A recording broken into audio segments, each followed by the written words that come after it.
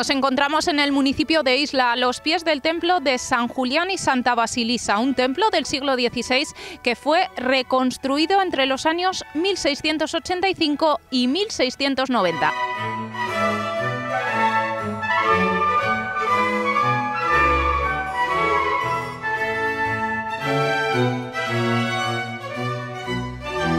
Qué lujo, ¿no? Pero la gente quería tener su iglesia, ¿no? quería tener allí para adorar al Señor. Entonces, la gente ha querido tener esta iglesia, sí, con la ayuda de personas que habrán aportado dinero, pero también esa buena voluntad de, que el Señor tenga el mejor lugar en el pueblo.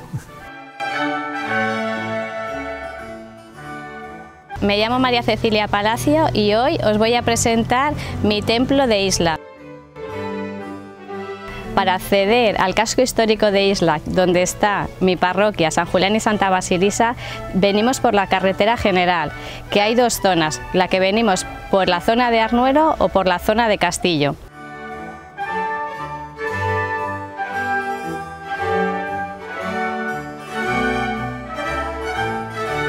Para acceder al templo entramos eh, por esta portada, que es tipo retablo.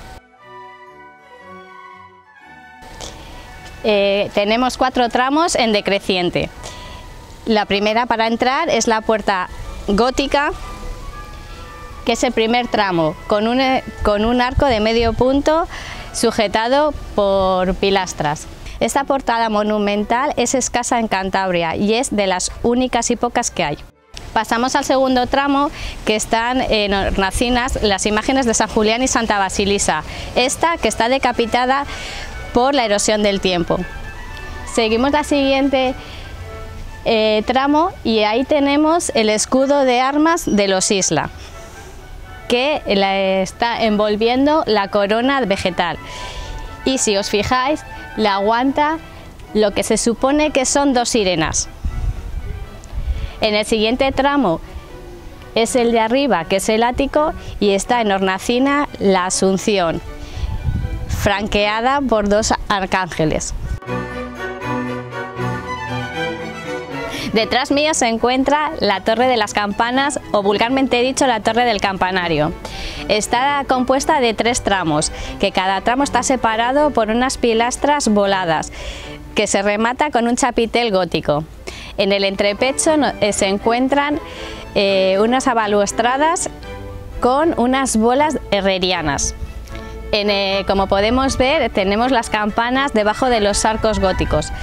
Esas campanas han venido de San Mamés de Meruelo. Ya estamos dentro de la iglesia. Eh, esta iglesia está formada por una planta de salón que es de las pocas que la hay. Eh, tiene tres naves y cada nave tiene cuatro tramos. Eh, las columnas son ortogonales y aguantan lo que es los arcos de medio punto. Las bóvedas son de crucería estrellada, de estilo gótico. Detrás mío se encuentra el altar mayor con este espléndido retablo. Este retablo le hizo Fernando de la Peña y don Andrés fue el que hizo las eh, imágenes. Es de tipo prechurrigueresco, de estilo barroco, con pintura policromada, con las columnas salomónicas que le cuelgan las racimos de uva. Tenemos el hueco que es estratégicamente está puesto así, aparte de poner el expositor, donde está una cruz que es antiquísima, que es de aquella época, lo tenemos por el efecto de luz porque en aquella época no había luz. Entonces, con la, con la entrada del, del altar mayor y las dos puertas laterales que tenemos en la iglesia, que es donde entraban los hombres y la otra donde entraban las mujeres, se creaba luz con los ojos de buey y las ventanas que tenemos en el lateral de la izquierda. Este retablo es catequético porque dice lo que es la historia de Jesús, todas sus escenas y los santos que hubo en ella. Estos son uno de los pocos que... Eh, en la parte de fuera del retablo tenemos a los cuatro evangelistas, que tenemos a San Mateo, que es el que lleva un niño, Marcos que lleva un, un león, Lucas que debería llevar un buey y San Juan que lleva el libro pero le falta el águila. Eh, si nos centramos en el centro del retablo, a los laterales del expositor tenemos a San Pedro a nuestro lado de la izquierda y a nuestra derecha tenemos a San Pablo. Al lado de San Pedro tenemos la adoración de los Reyes Magos, eh, como podéis ver en relieve.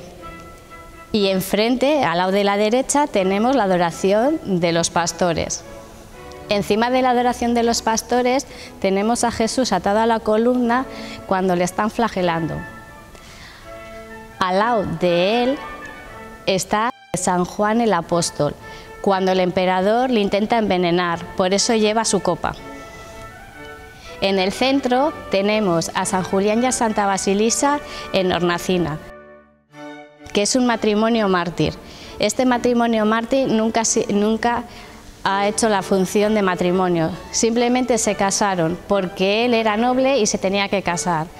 Él eh, sintió una angustia muy tremenda porque él había hecho voto de castidad y se había consagrado a Dios y lo que hizo es ayuno y abstinencia durante 15 días aproximadamente. Cuando el ángel del Señor se le apareció y le dijo que se tenía que casar con esa chica que sus padres le habían dicho porque era de su misma condición y esa chica era Santa Basilisa. Entonces ellos se casaron. Una vez casados, el emperador esto no le gustó porque vio que era más poderoso para ellos el dios que ellos tenían que el propio emperador.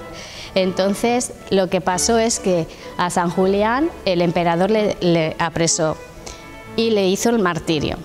Le frageló, le cortó, le quemó y todo eso que sufrió lo sufrió su mujer, porque todo eso lo vivió, lo vio. Entonces, eh, y todo lo que le pasaba, eh, eh, Dios le curaba. Entonces, lo que hizo el emperador es decapitarle. Esto sucedido en el siglo IV más o menos.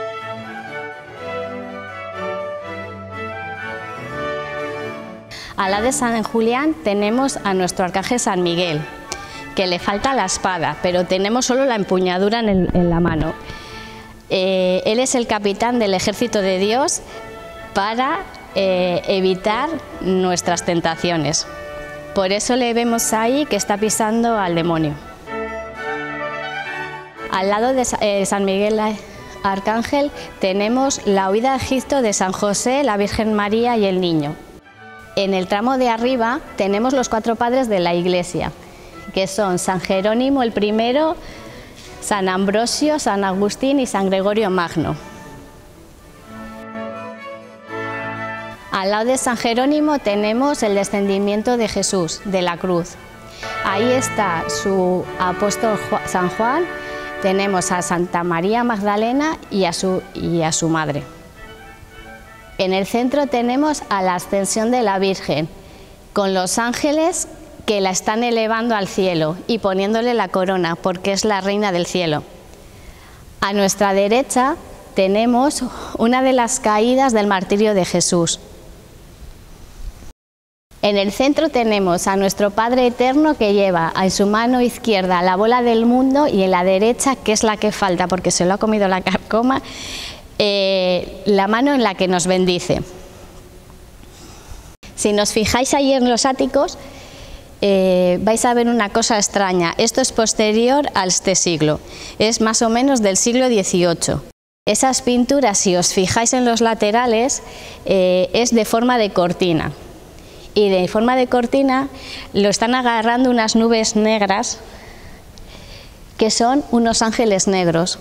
Esos ángeles negros, yo creo que el pintor lo que quiso eh, expresarnos es que no solo había ángeles blancos, también había ángeles negros.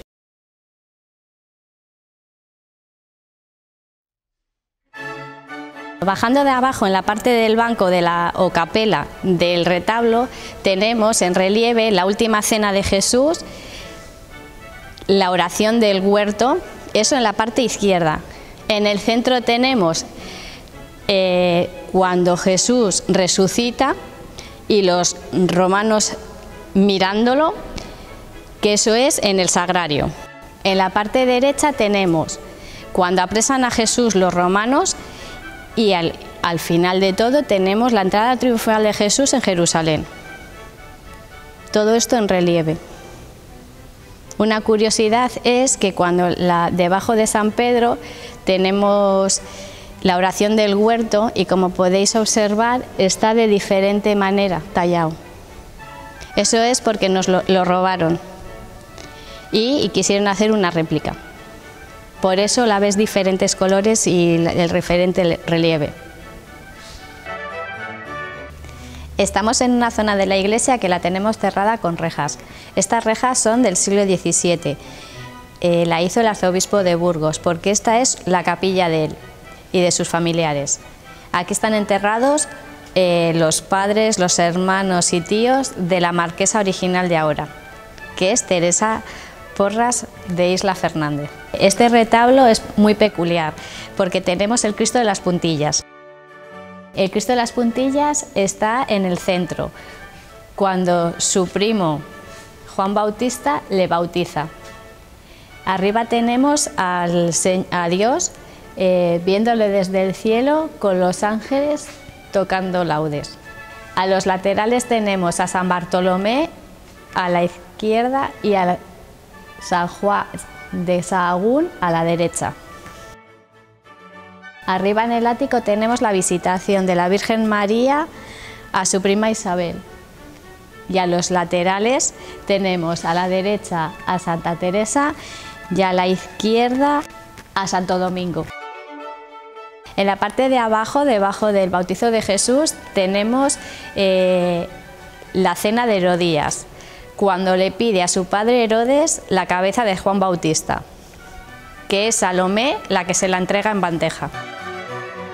En las columnas eh, está la imposición de la casilla de San Ildefonso, que es el de la izquierda, y a la derecha está el Rosario de Santo Domingo.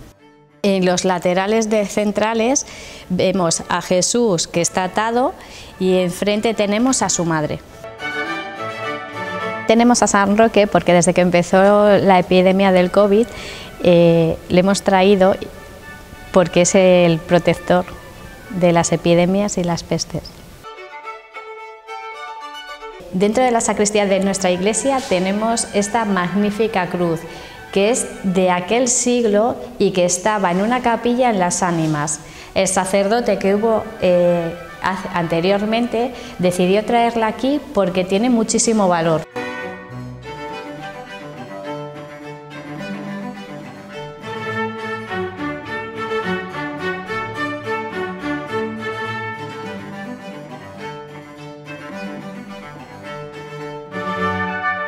Estamos eh, en, los retablos del lado de la epístola, del retablo mayor. Aquí tenemos la Vera Cruz de Jesús. Eh, aquí está pintado la parte de atrás eh, en colores mm, azules y rojos. Está Jerusalén con el sol y la luna, que indica el principio y el fin. la cruz está en la Górgota, en el lateral de la izquierda tenemos a María la Virgen la Dolorosa y a, su, a nuestra derecha tenemos a María Magdalena, su primer apóstol, que fue fiel a Jesús durante toda su trayectoria.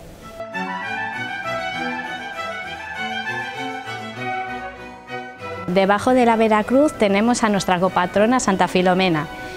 Eh, su leyenda dice eh, que era una niña de 13 años que murió por no quererse casar con el, emperador de su época. En la época de Santa Filomena era en el siglo III. Esta santa, su historia cuenta que sus padres eran nobles en Grecia y el emperador eh, quería casarse con su hija, a cambio le iba a dar dinero. Pero ella había hecho voto de castidad y fiel a Dios se había comprometido con Dios. Entonces ella se negaba a eso. Entonces el emperador, como en todas las épocas, la apresó, la frageló, la lanzaba flechas y ya una vez que le hacían todas esas cosas, eh, el ángel del Señor por la noche le curaba. Entonces el emperador cada vez se enfurecía más porque no podía entender cómo podía ser que esa chica con 13 años eh, se podría salvar de toda la tortura que le estaba haciendo. Entonces decidió llevarla al mar y ahogarla. De una manera un poco cruel porque la puso una soga y la dejó colgando en el barco, eh, pero el ángel del Señor cortó la soga. Y su leyenda dice que cuando cayó al mar, eh, unas sirenas seres extraordinarios la sacaron y la pusieron en la orilla. Por eso esta talla, que debe ser la única en el mundo, tiene los pies cruzados en forma de pez.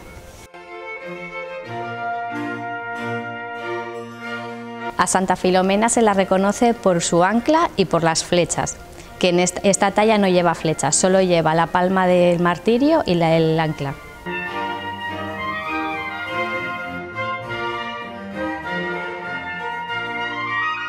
El retablo que está al lado de la Vera Cruz eh, es de estilo rococó.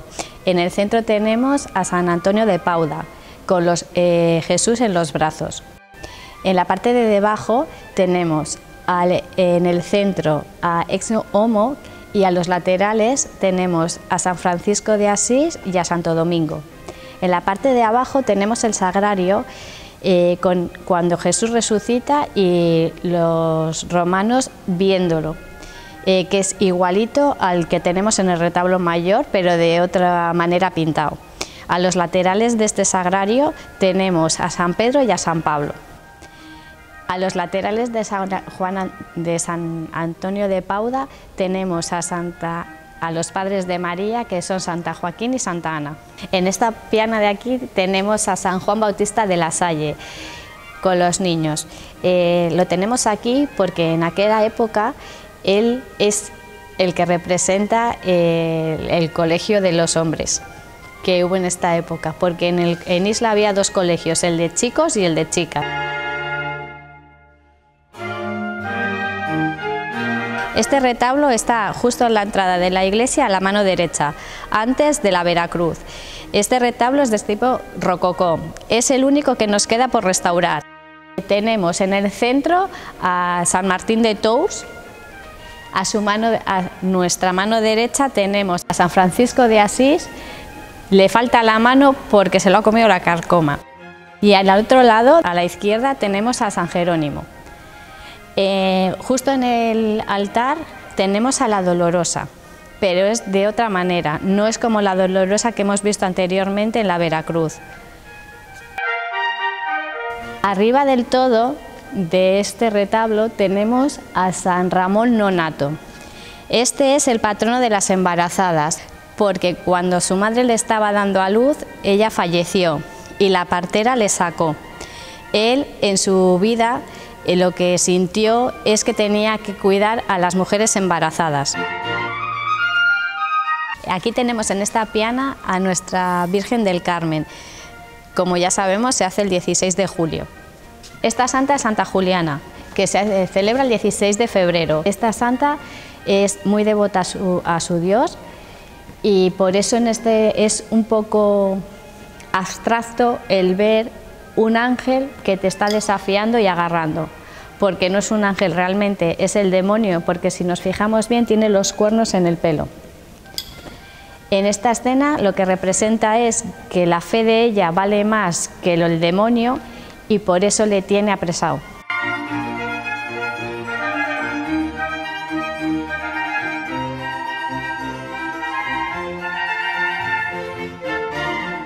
La pila bautismal es del tipo gótico, eh, está a la izquierda de la entrada porque en aquella época nadie podía entrar a la iglesia si no estaba bautizado. En esta piana tenemos a Santa Joaquina de Vedruna, que es eh, la patrona del Colegio de las Monjas de Isla, de la Inmaculada Concepción. En aquella época, como he dicho anteriormente, había dos colegios, que era el de chicos y el de chicas.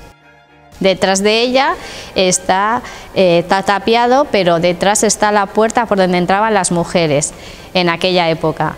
En el suelo que tenemos es donde están todos los enterramientos de los niños. Al lado de la columna octogonal tenemos el resto de la pila de agua bendita de la zona de las mujeres.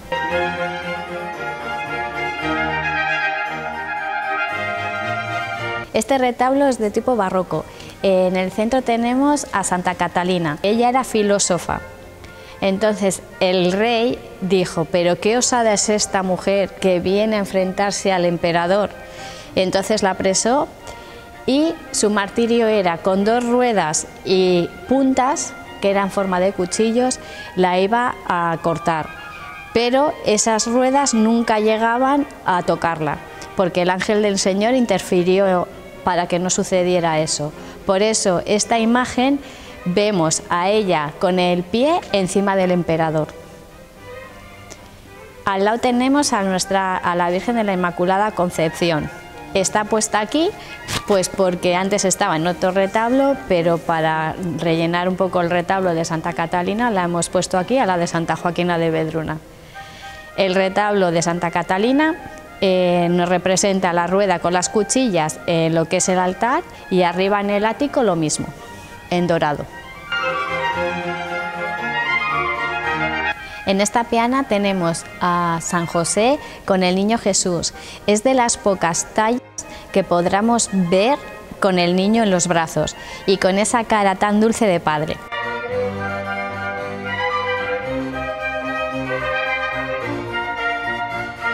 Este retablo es churrigueresco. En el centro tenemos a la Virgen del Rosario. Eh, no tiene rosario, pero sí que destaca su corona, que es de plata y está tallada a mano. Esta Virgen fue donada por la cofradía de Isla, que hubo en esa época. encima de ella, en el ático, tenemos a la Virgen con el Niño Jesús y a los laterales de la Virgen del Rosario tenemos a nuestra izquierda a Santa Teresa de Jesús y a la derecha tenemos a Santo Domingo de Guzmán. Este retablo, en las columnas que tiene, vemos unas cabezas. Esas cabezas son de ángeles.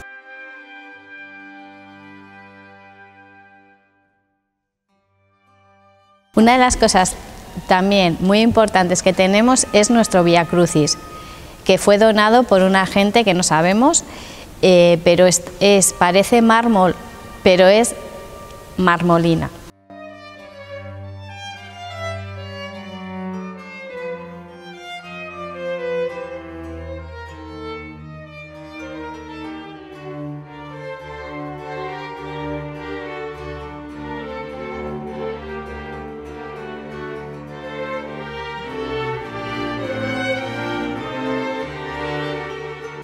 Esta talla es, representa la fe.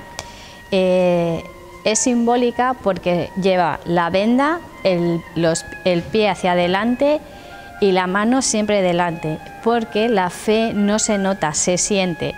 Y siempre que tienes fe, independientemente que veas o no veas, lo vas a conseguir.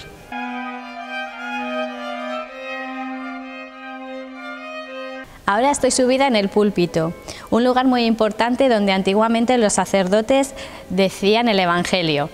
Eh, tenemos esta parte de arriba que está cerrada y tenemos una casa y encima de la casa tenemos a Juan el Evangelista.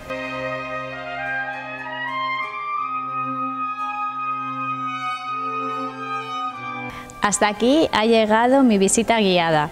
Espero que os haya gustado mi iglesia, San Julián y Santa Basilisa. Si quieren venir a visitarla, tenemos los horarios expuestos en la puerta de la iglesia y en la zona turística. Muchísimas gracias y hasta pronto.